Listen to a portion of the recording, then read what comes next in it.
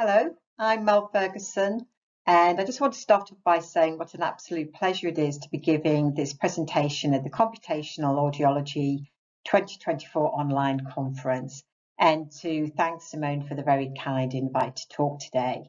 Um, so I'm going to be talking about the essential role of co-design and participatory approaches in digital hearing health. And by the end of the presentation, I hope you can see that um, involvement of end users in research is no longer a nice to have, but a must have. Um, I'd like also to acknowledge some of my key collaborators in one of the uh, projects that I'm going to be talking about today. So I'm based in um, Perth in Western Australia, and you can see Perth shown in the um, left-hand uh, corner of the map there. Um, it's the capital city of Western Australia, and Western Australia, along with Australia, is, is pretty huge. So Western Australia is the size of Western Europe, um, although the population is only 3 million. So Western Australia is very empty. Um, but as you can see on some of the photographs that I've got um, taken from my time here, that it's a very, very beautiful part of the world. So I'm very lucky uh, to live and work here. Um, so moving on to my talk, um, uh, what I want to be clear by the end of the day is that the end um, goal of um, in designing digital um, hearing health is to make research and developments relevant and usable for the end users. And the reason for this is that we have better outcomes when we involve end users. So um, the involvement of end users in research is not new. So there was a series of articles in 2014 published in the Lancet, which is really focusing on and research in terms of increasing value and reducing waste. So quite shockingly, this um, one of the articles reported that um, up to 85% of um, research funds have no direct uh, value on patient needs. And it was really clear that um, there's often a mismatch in terms of the re research agenda um, that's set by researchers and the needs of the patients. And some of this can be um, re re reduced by involving users in um, shaping research. And quite often when people think about involving end users in research, think about co-production or co-design. So this is when researchers and clinicians and other um, stakeholders work together. And the key thing here is that the responsibility and the power in the researchers doesn't lie with the researchers, but relies with the whole of um, all everybody who takes part. And the aim of this is to ensure that the needs of the end user are met. Um, another sort of less well-known um, involvement of end users in research is in the shaping of research questions. And the National Institute for Health Research in the UK have been at the forefront of this with the James Lind Alliance, which aims to raise awareness of what matters most to patients and clinicians. So making sure that their voice is well heard within research. Now, there are a number of different terms that can be used um, for, for end user involvement. In the UK, the NIHR talks about patient and public involvement um, or PPI. And in Australia, in America, and some other countries, this is known as consumer and community involvement or CCI. And that's the term I'm going to be using today. I've been working with CCI and engagement with other stakeholders for well over a decade now. And this involvement has been core to the development of all our digital tool um, research. So I started off in 2011, and you can see uh, in the photographs here, and I'm going to finish off, I'm going to be talking most today about a project that um, we've been doing in the last year um, here in Australia. But one of the key um, tenets around um, involving um, other stakeholders is that these people are working with the researchers, not for the researchers. And it's very much around the agenda of no research about us without us. The first time I kind of got involved in this was in the development of some um, videos for first time hearing aid users, which are called C2Hear. And there are a number of different ways that um, um, end users were involved. So we had a um, CCI project specific panel with people in, involved in the project right the way through um, the research. And in terms of the development of C2Hear, we had storyboard workshops involving hearing aid users and audiologists. And then as we went through and developed a spec and reviewed the spec, then um, developed the videos and reviewed the videos, we had iterative input um, from both audiologists and hearing aid users throughout. And the reason being is we wanted to embed the end user's voice in the um, in the research. What did um, some of our CCI panel members say? Well, I've got some quotes here. Um, one of them said, all members of the team have an equal voice and opinions are heard, acknowledged, valued and respected during the discussions. Ideas are exchanged, discussed, explored and tested in a range of varied co contexts. Somebody else said, I've been involved right from the concept to the finished article and the great thing is I've been treated as an equal. And then finally, another quote is, my views and thoughts have been listened to and taken into account. I see and hear words and ideas incorporated into the project, which was which are mine.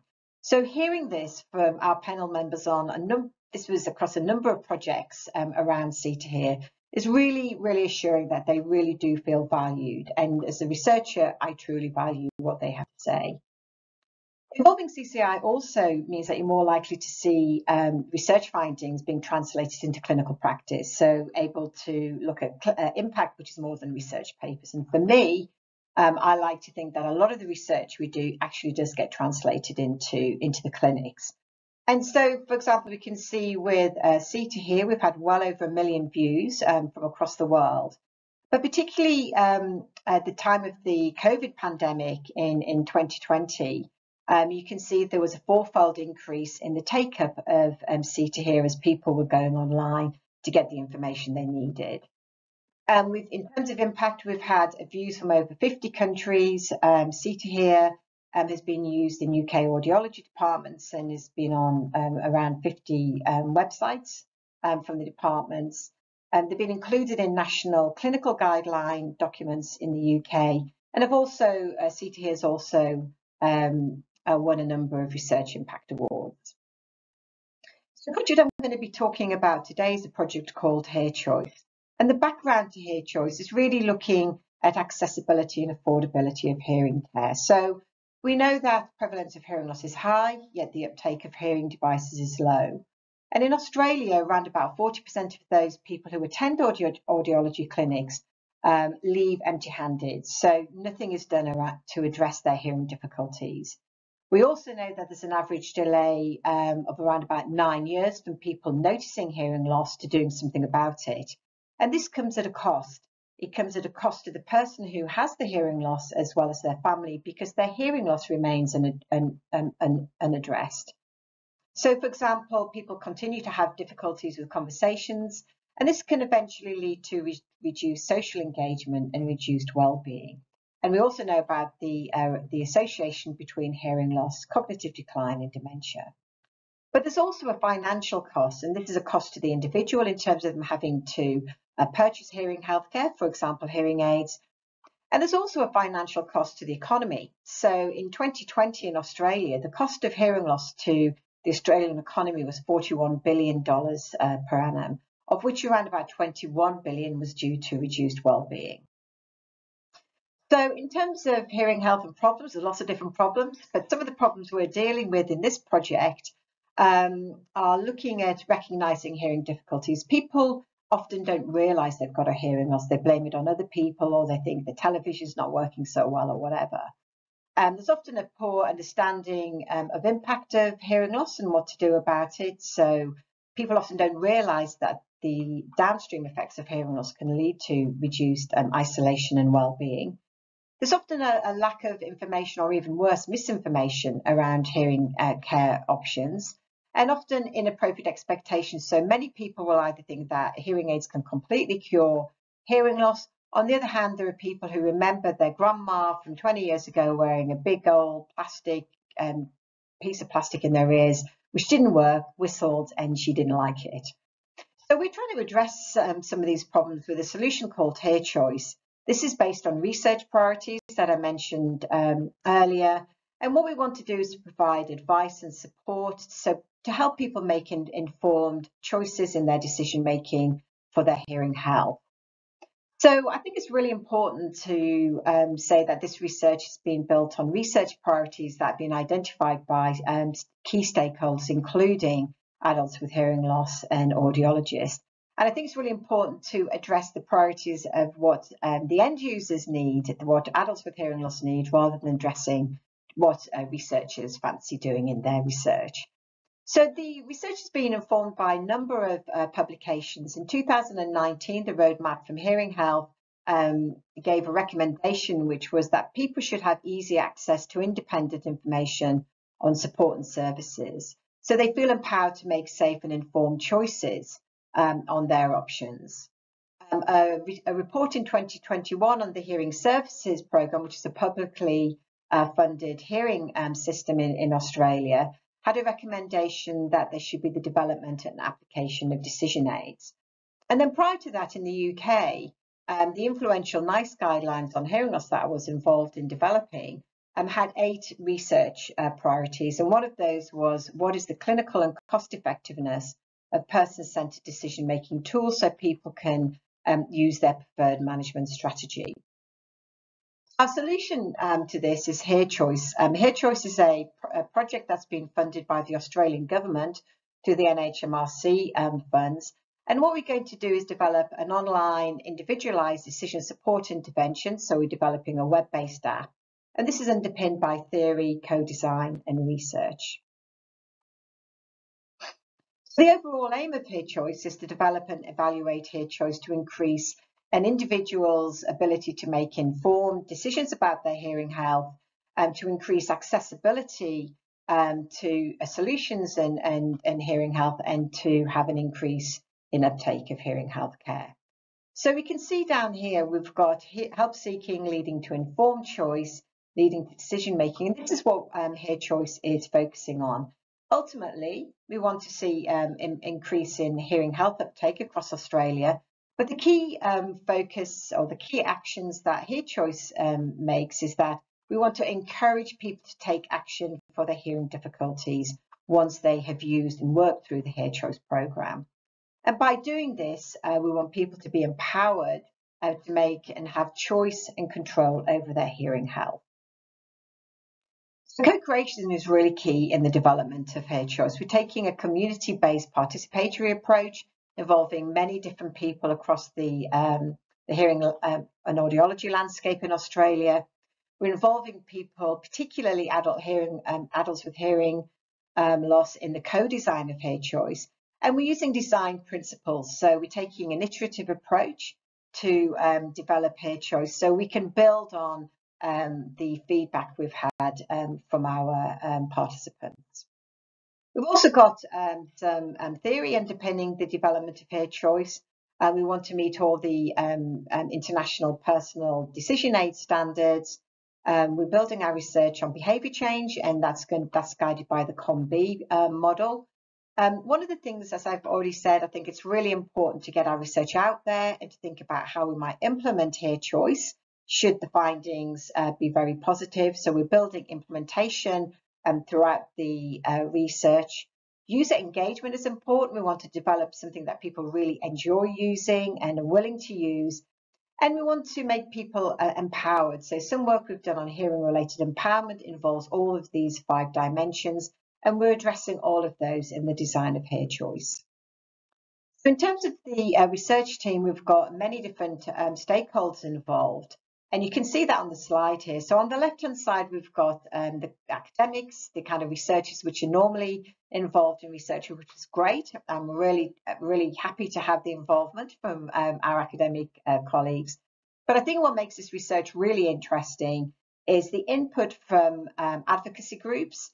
So we've got input from a couple of the advocates groups in, in Australia, Soundfair and Better Hearing Australia, input from a project-specific community advisory group, and we've also got a, a, a, CCI panel to address the No Research About Us Without Us agenda.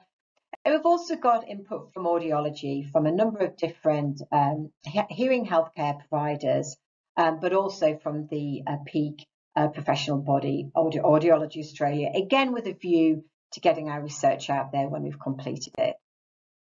So the study design is shown here. There are four work packages and the stakeholders um, voice is embedded throughout. So the first um, work package is a needs analysis. So we, we conduct, we've conducted workshops, interviews, focus groups and online surveys. And I'll say more about the results in a minute. Um, we're currently developing um, Hear Choice and we're doing this with um, workshops and an iterative co-design that I mentioned previously. We'll evaluate um, Hear Choice using a randomized control trial um, and health economic evaluation. And what we also want to understand is how people make decisions. The early part of the hearing healthcare journey, where people are making decisions about what to do about their hearing health, is really poorly understood. So we're going to have every click documented and we'll use machine learning to try and understand what approaches people take and to develop different types of profiles of, of the users. And then finally, as I've also alluded to, implementation is important. So what we want to do is to run workshops to co-develop an implementation plan to see how we can get it across Australia uh, once we've completed the, re the, research. And we're currently at this, um, this point um, at the moment. So The first thing we did was to carry out um, a stakeholder workshop to ensure that the research was relevant to make sure that we're addressing all the key issues. Um, we did this um, by involving a whole group, um, over, over um, 19 people across a whole group of different um, areas, areas in audiology across audiology in Australia. So we've involved uh, professional bodies, we've involved, we involved adults with hearing loss and advocacy groups, clinical audiologists and service providers. And we also had input into this uh, workshop from the uh, Department of Health. So we had people who were responsible for delivering hearing health um, at this very early part of our research. We developed a target statement which sort of says what we aim to do.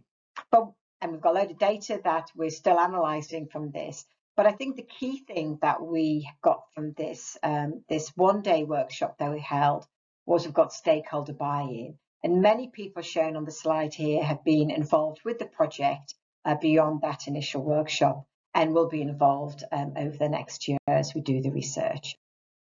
So um, we want to understand the hearing, early part of the hearing journey.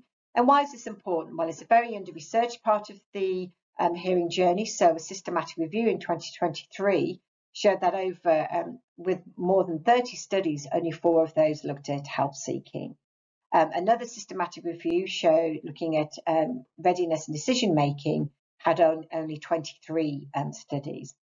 But actually, when you look at decision aids that have been developed um, through research um, in the literature, there are very few.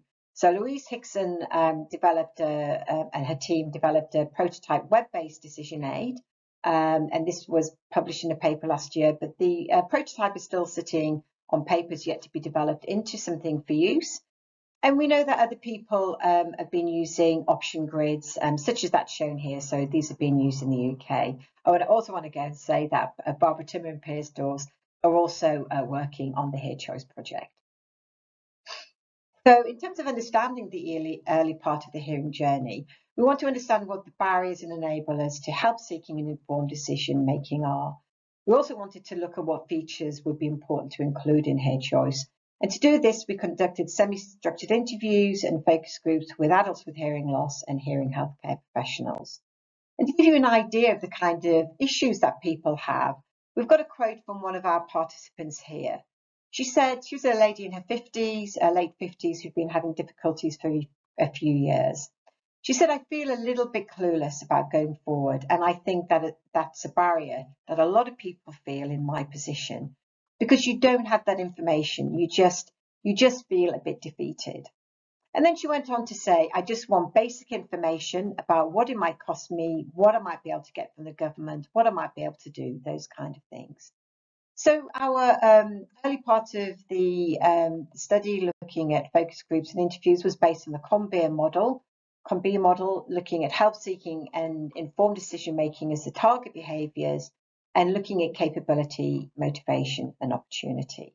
And we've got lots of data from this, and I'm going to just show a summary here. So along the top, we've got factors that influence help seeking informed decision making, some of the features of hear choice that might um, might help towards that, and what we think the outcome will be. So in terms of capability, knowledge is a key factor, and uh, key uh, points that came across were signs and symptoms of hearing loss, having re realistic expectations of hearing healthcare, understanding what the benefits are. And an important thing was around costs and funding, and this came through quite strongly um, at a number of different points of the research. In terms of features of Hear Choice, we can we see Hear Choice as being a, a trusted go-to for clear and accessible information and advice, and the outcome would be improved knowledge. In terms of opportunity, whilst um, Hear can't directly address the factor shown here, which is that the audiology the audiologist offers clear explanation and addresses individual needs. Um, however, we can indirectly um, um, address this by empowering users to self-advocate and help them to influence the quality of their hearing healthcare. And then finally, in terms of motivation, the feeling of trust came through very, very strongly and was very important. So what we want to do is provide unbiased information about hearing care and um, um, hearing, hearing care professionals to increase trust and self-efficacy. And we identified tons of different features um, from our stakeholders, and they fall in these key themes here around credibility, content, information, um, rehab, how to find and look and feel. And you can see that cost and funding, again, were very important, up at 83%. And the role of um, hearing care professionals is really key to this in terms of providing credibility for Hear Choice and also helping people to find Hear Choice in the first place. So in terms of our online um, surveys, um, we did a survey of 300 adults with hearing loss and hearing care, uh, 50 hearing care professionals. And some of the findings on the views of hearing choice are shown here. So about three quarters of adults with hearing loss said they would be interested in using Hear Choice to help make decisions. Uh, we asked a few more questions of the um, hearing care providers. 85% um, said they thought Hear Choice would be a useful tool. 82% um, said they thought Hear Choice would support shared decision making with audiologists. 74% said they were glad a, a client had used Hear Choice before an important uh, an appointment. And 68% said they would recommend Hear Choice to clients. So we were really happy about this because we were only able to get a little bit of a flavour of what Hear Choice was, and people were very supportive of it. I've got some data here now to show what kind of options uh, are offered to the participants in our surveys. And so across the top, you can see um, the percentage there. And not surprisingly, uh, just under 60% of people um, were offered hearing aids. But if you look at the other options, such as hearables, ALDs, communication training, or auditory training, the uh, only between about 5 and 15% of people are offered those. But even more importantly were the missed opportunities. So this slide shows the percentage of participants who are interested in, in, in an intervention but who are not offered it. So there were still some people who were still interested in hearing aids, but you can see between 60 and 90% of people were interested in all those other options but were not offered it. So what we want to do in Hear Choice is address those uh, missed opportunities. So this is what Hear Choice looks like. Um, we've got the we've got two sec main sections. Section A is really helping people to um, understand more about their hearing loss. We're going to provide some online links uh, to hearing tests, and we want to um, explain to people and, and uh, uh, explain to people about the impacts of hearing loss and what the benefits of hearing health um, hearing healthcare are. To, so what we're trying to do with this first part is to help prime people to really get into, I must do something about my hearing loss. Um, we've got a, um, an eligibility quiz, so those who are eligible for the hearing service program can, will know whether they are or not. And then finally, we've got the, the, the second part, which is um, the decision-making part, where we provide a full range of hearing health um, options.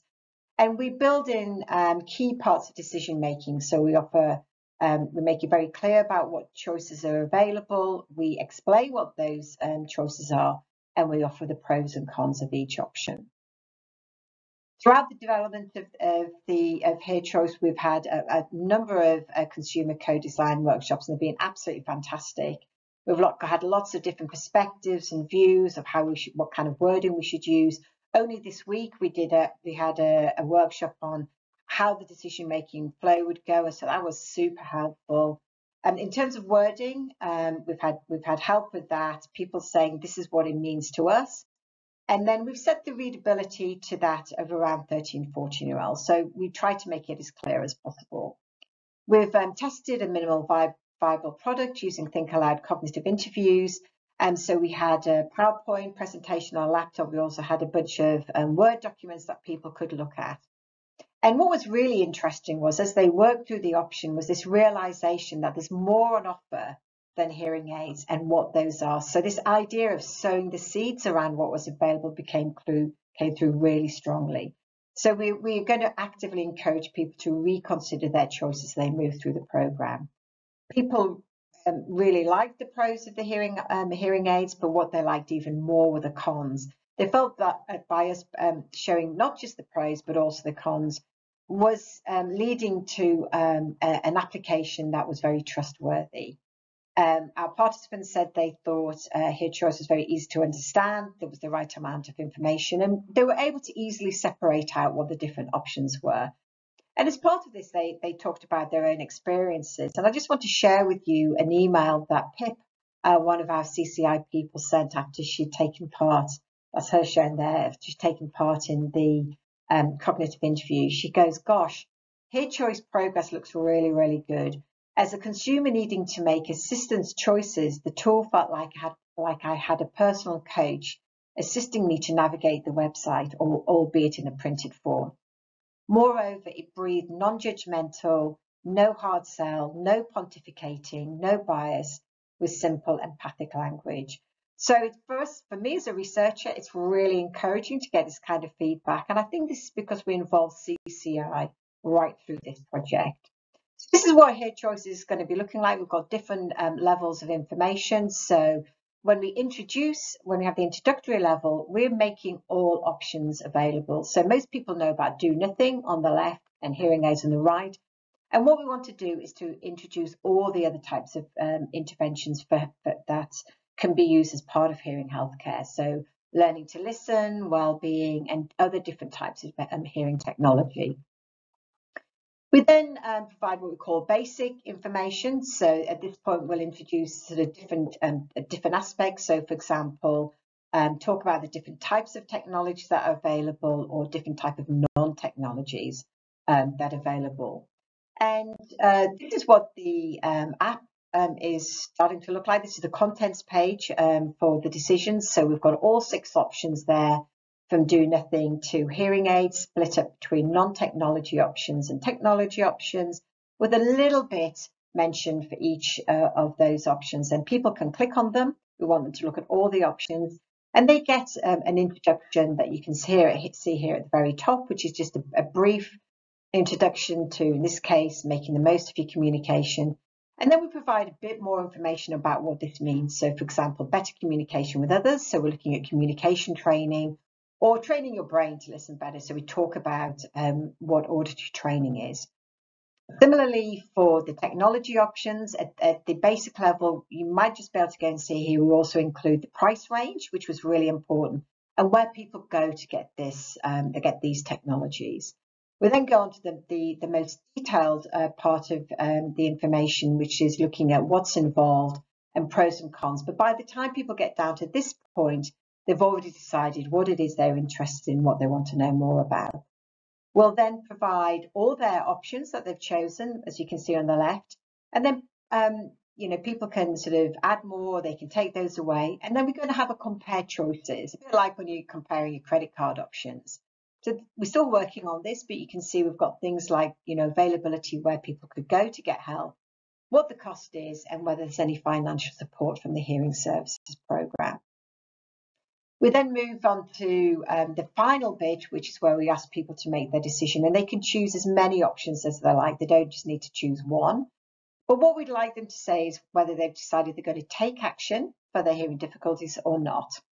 Um, and then if they uh, do take action, what their plan is. We want them to make an action plan. This has been shown to be a behaviour change technique we ask them what will they do. We'll provide a drop down box of what the options are for whichever option they're interested in or options they're interested in, and when will they do it. So we want to make this time time critical. You know, we want people to do this, you know, within a few weeks or a few months at least of, of using Hear Choice, and then we're going to ask them to commit to their plan.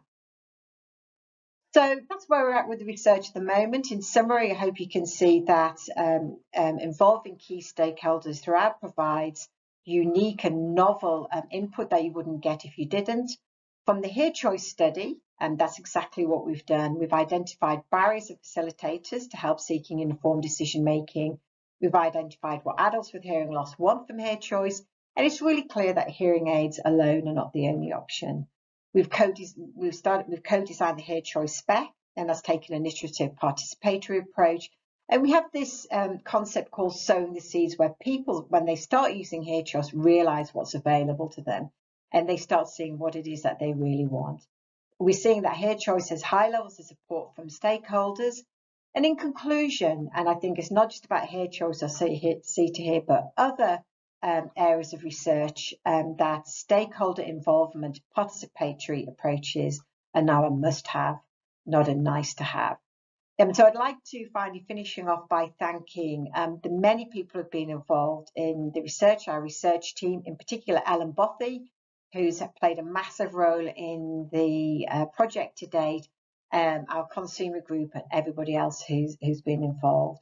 Um, I'm really looking forward to the Q&A session that follows on from this uh, recorded presentation. And I'd like to thank you for listening. Thank you very much.